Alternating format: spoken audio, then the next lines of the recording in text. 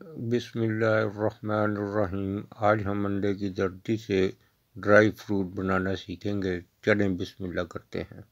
چھ عدد انڈوں کی زردی۔ باریک کٹے ہوئے نٹس آدھا کپ۔ دودھ۔ دو سے تین چمچ۔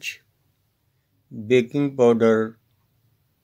کوارٹر ٹی اسپون پسی ہوئی چینی۔ دو ٹیبل سپون، ایک پیالے میں انڈوں کی زردی ڈال لیں۔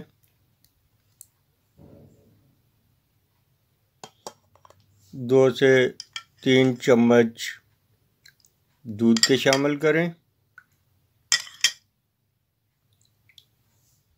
دو چمچ پسی ہوئی چینی ملا دیں۔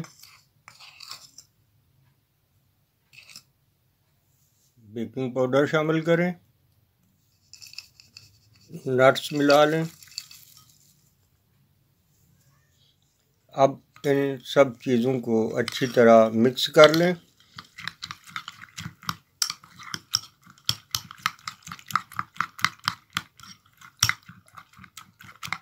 ایک پلیٹ میں آدھا چمچ گھی لگا کر سب چیزیں اس میں ڈال دیں۔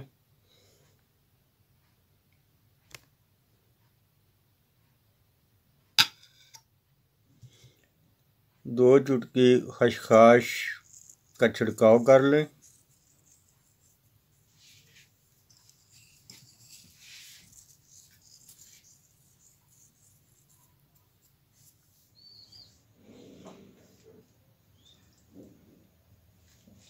مائکرو کو ہائی ہیٹ پہ سیٹ کر کے ہم تین نمبر تک چلائیں گے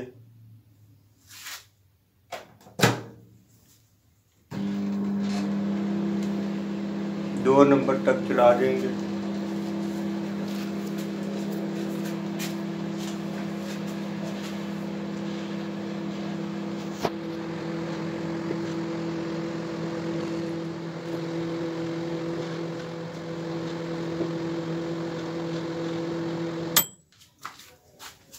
اب دیکھتے ہیں کہ ہمارا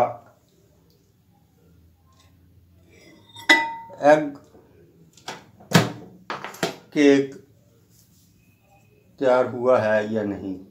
ماشاءاللہ ماشاءاللہ، بالکل پک کر تیار ہو چکا ہے۔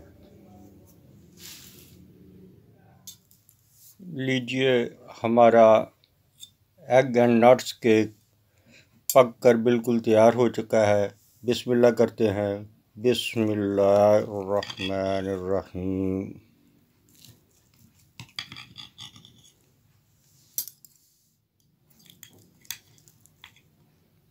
واہ ماشاء اللہ بسم اللہ۔